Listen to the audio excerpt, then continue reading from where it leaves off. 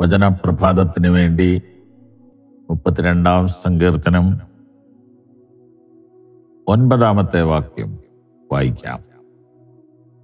നിങ്ങൾ ബുദ്ധിയില്ലാത്ത കുതിരയെയും കോവർ കഴുതിയെയും പോലെ ആകരുത്. അവയുടെ ചമയങ്ങളായ കടിഞ്ഞാണും മുഖപ്പട്ടയും കൊണ്ടവയെ അടക്കി വരുന്നു.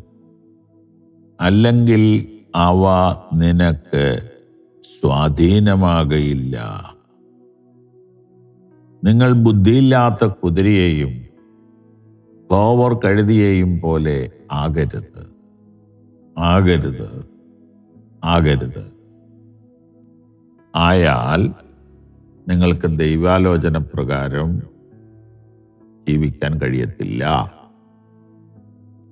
ദൈവത്താൽ ഉപദേശിക്കപ്പെടുന്നവർ എന്ന ഒരു സന്ദേശത്തിലൂടെയാണ് ഇപ്പോൾ പോയിക്കൊണ്ടിരിക്കുന്നത്. ദൈവത്താലുള്ള ഉപദേശം പള്ളിയിൽ നിന്ന് ലഭിക്കും എന്നാൽ അത് മാത്രം പോരാ. ദൈവത്താലുള്ള ഉപദേശം ബൈബിൾ വായിക്കുമ്പം കിട്ടും പക്ഷെ അത് മാത്രം പോരാ. അന്തരാത്മാവിൽ ദൈവവുമായിട്ട് ഒരു വ്യക്തിബന്ധം സൂക്ഷിക്കുകയും ആലോചന പ്രാപിക്കുകയും ചെയ്യേണ്ടതാണ്. അതിന് നമ്മുടെ നേച്ചറിനൊരു മാറ്റം വരണം. ഇതാ മനുഷ്യൻ ഇപ്പോൾ മൃഗത്തെ പോലെ പ്രവർത്തിക്കുന്നു. കാൽ രണ്ടേ ഉള്ളൂ എങ്കിലും നാൽക്കാലിയുടെ സ്വഭാവം പലപ്പോഴും കാണിക്കുന്നു. അല്ലേ? നാൽക്കാലിയേക്കാൾ അപമാനകരമായി പ്രവർത്തിക്കുന്നു.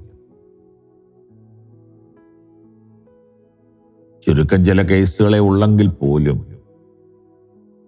മൃഗത്തിന് പോലും അപമാനമാണ് മനുഷ്യൻ ഇങ്ങനെ അധപ്പതിക്കുന്നത്. ആരോ പറഞ്ഞു കുരങ്ങിൽ നിന്ന് പരിണമിച്ചാണ് മനുഷ്യനുണ്ടായതെന്ന് പറഞ്ഞാൽ കുരങ്ങ് എതിർക്കുമെന്ന് കുരങ്ങിന് അപമാനമാണ്.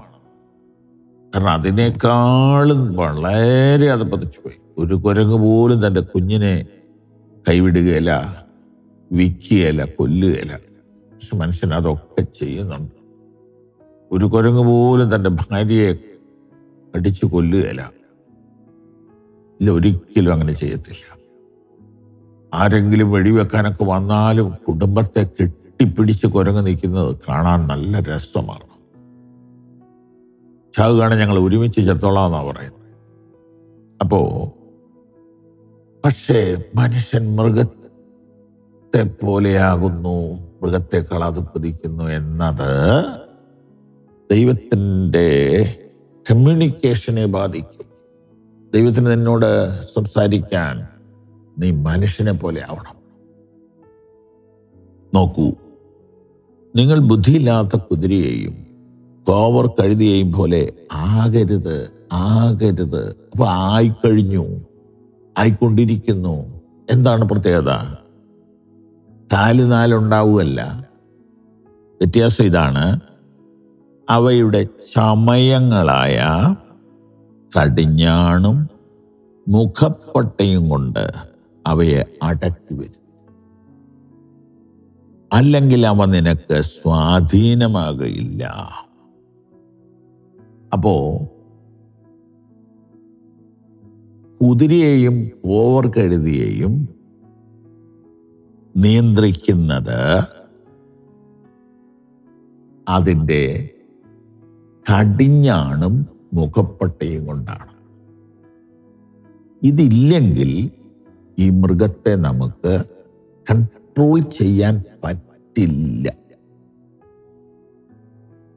മൂക്ക് തുളച്ച് കയറിട്ടിട്ടാണ് പശുവിനെയും കാളയെയും പോത്തിനെയും ഒക്കെ വീടുകളിൽ വളർത്തുന്നത്. പുറത്തേക്ക് കൊണ്ടുപോകാൻ നേരത്ത് ആ മൂക്ക് കയറയിൽ ഇങ്ങനെ പിടിച്ചാൽ പിടിച്ചിടത്ത് നിൽക്കും. കഴുത്തെ കയറിട്ടാ നിൽക്കത്തില്ല. നമ്മളെ കൊണ്ടുപോകും. ഈ മൂക്ക് കയറിടുന്ന രംഗം ഞാൻ കണ്ടിട്ടുണ്ട്. അതിന് ചില ആളുകളെ വിളിച്ചുകൊണ്ട് വരും. ഡോക്ടറാ വരേണ്ടത് പക്ഷെ ഡോക്ടറെ ഒന്നും എപ്പോഴും കിട്ടത്തില്ല. അപ്പൊ ഈ മൂക്കിന്റെ അകത്ത് ഒരു പ്രത്യേക സ്ഥലം ഉണ്ടെന്നാ പറയുന്നത്. അത് കൈകൊണ്ട് അവർ നോക്കിയിട്ട് ചാക്ക് തയ്ക്കുന്ന സൂചിയുടെ വലിപ്പമുള്ള വലിയ സൂചി കുത്തി അങ്ങ് കിടത്തി വലിച്ചിങ്ങോട്ടെടുക്കുമ്പോൾ ഈ നൂ സൂചിയുടെ അറ്റത്തൊരു ചരടാണ്. ആ ചരടങ്ങ് കയറ്റിയിട്ട് വെറുതെ ഒന്നങ്ങ് കെട്ടിവെക്കും. ഉഫ്. എന്തൊരു വേദനയാണ്. അപ്പൊ ഞാനൊക്കെ ഈ മൃഗങ്ങളെ വളർത്തിയിട്ടുള്ളവനാണ്. വീട്ടിലെ പശുക്കളൊക്കെ ഉണ്ട് അപ്പൊ നമുക്ക് വേണ്ടി നമ്മുടെ പേരിട്ട് ഏഹ് നമുക്ക് നമ്മുടേതൊന്നും പറഞ്ഞൊരെണ്ണത്തിനെ തരുമായിരുന്നു അതിനൊക്കെ ഇങ്ങനെ ചെയ്യുന്നത് സഹിക്കാൻ പറ്റൂല. എന്നിട്ടോ? രണ്ടു മൂന്ന് ദിവസം കഴിയുമ്പോൾ ഈ ചരട പിടിച്ച് ഇങ്ങനെ വലിക്കും. അത് കട്ട പിടിക്കാതിരിക്കാനാ വീണ്ടും വന്ന് മുറി ഉണങ്ങരുത്. അവിടെ തഴമ്പാക്കണം. ഒന്ന് ഒന്ന് ഒന്ന് സ്ട്രോങ് ആക്കണം. അല്ലെ കീറിപ്പോവുകയല്ലേ അങ്ങനെ മൂന്നാലഞ്ച് ദിവസം കഴിഞ്ഞ് ഉണങ്ങിക്കഴിഞ്ഞ് ആ ചരട് മാറ്റിയിട്ട് പ്ലാസ്റ്റിക് ചരട് അങ്ങോട്ട് എന്തിനാ? കൺട്രോൾ ചെയ്യാൻ. വേദനയിലൂടെ മാത്രമേ കുതിരയെ കഴുതിയെ കൺട്രോൾ ചെയ്യാൻ പറ്റും. സ്തോത്രം. സ്തോത്രം. മുഖപ്പെട്ട അതെന്തിനാണ്? ഇതിന് സെൽഫ് കൺട്രോൾ ഇല്ല. എന്തെങ്കിലും കണ്ടാൽ അങ്ങോട്ട് നോക്കും.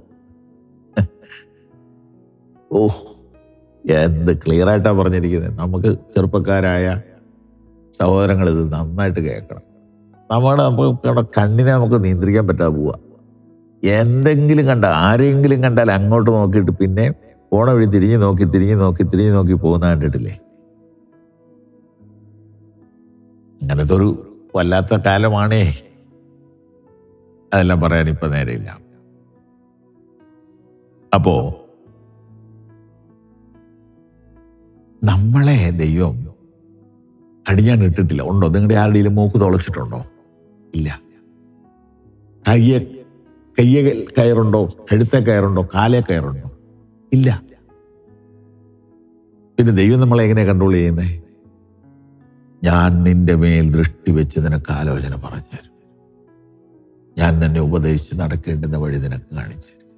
അപ്പോൾ നമ്മൾ നേച്ചർ ചേഞ്ച് ചെയ്താലേ കമ്മ്യൂണിക്കേഷൻ സിസ്റ്റം വർക്ക് ചെയ്യത്തുള്ളൂ. ദൈവത്തിന്റെ കമ്മ്യൂണിക്കേഷൻ വർക്ക് ചെയ്യണമെങ്കിൽ നമ്മൾ ഒരു മനുഷ്യനാകണം. കഴുതയാകരുത്. ദൈവത്തിന് സ്തോത്രം. അതിന് ദൈവം നിങ്ങളെ സഹായിക്കണം